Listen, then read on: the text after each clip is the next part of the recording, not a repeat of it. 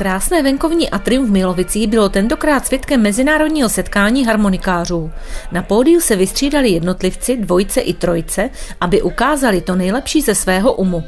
Pořadateli setkání byl pan Jiří Valenta a pan Karel Hájek za podpory obce Milovice. Tuto akci pořádá místní hostinec u Medvěda, Jirka Valenta. On zajišťuje chod a my mu zajišťujeme muzikanty vystupující. Že Máme kamarády po celé republice, dá se říct, tak kdo má čas přijede. Toto setkání se pořádá po druhé. Zavedli jsme jako 28. 9. jako na Václava. Doufám, že z toho zůstane tradice, uvidíme.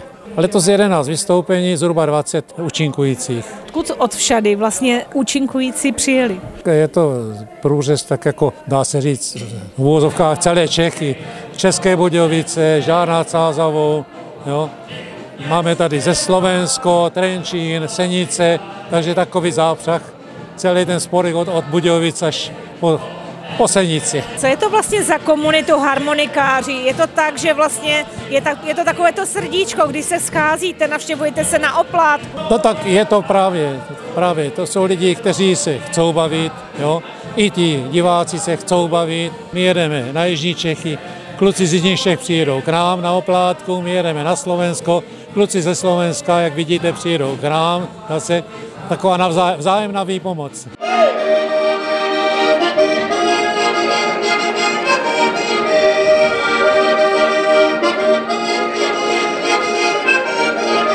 Milovice měly také zastoupení v podobě netradičního nástroje. Na dudy zahrál pan Pavel Duží a na kytaru jej doprovázela paní Ivana Ilichmanová. My jsme byli vlastně osloveni tak vlastně tady panem Hostinským, protože jsme tady párkrát tak hráli, jenom tak pro radost, no a nějak se to lidem líbilo. Já jsem se prostě zeptal, jestli tady chceme hrát, no. A my jsme chtěli. My jsme taková čerstvá náplava, by se dalo říct. My jsme se tady přistěhovali nějak před dvěma měsíci, no. A já hraju na, na gajdy teda už já nevím kolik, 25 roků nebo možná i díl, tak jsme se tady nějak prostě odstli. Na, náhoda, jo. Vlastně Milovicích mají nového dudáka, dá se říct. No dá se říct, ano, jo, jo. Jak se vám líbí tady ta akce, protože asi v loni jste se neúčastnili, toto je druhý ročník, takže co na to říkáte? No, mně se muzika, jakákoliv muzika líbí, dobrá muzika se pozná, takže já jsem nadšená, zaspívám si moc ráda. Nahore, na dole, tej panské zahradě, nahore, na dole, tej panské zahradě, štěkuje tam zahradníček, štěkuje tam zahradníček, píšenské jabloně.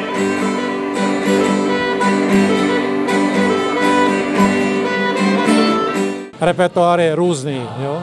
Přijede z harmonika z Jižní Čech, hraje Jižní Čechy, my to i chceme, aby tu zazněla takový průřez vším, dá se říct. Jo? Vlastně vznikl ten nápad uspořádat eh, sraz harmonikářů právě tady v Milovici? No tak to byl nápad eh, pořadatele Jirky Valenty, Valenty, který, který se v tom zlídl a požádal nás, jestli bychom si nepomohli zajistit muzikanty. Asi z největší dálky přijel pan Zdeněk Sojka, který pochází z harmonikářské rodiny, kdy i jeho tatínek a dědeček sdíleli lásku ke hře na harmoniku. Odkud jste přijel a jak vás napadlo se přihlásit sem do Milovic? Z Českých Budějovic jsem přijel a byl jsem doporučen jakoby i přes kolegy, hlavně přes ten internet, protože rád cestu mezi lidi a rád bavím lidi. Co pro vás znamená hra na harmoniku? Srdce mi duší, prostě, to je od Pána Boha, noty neznám, ale umím za to vzít prej.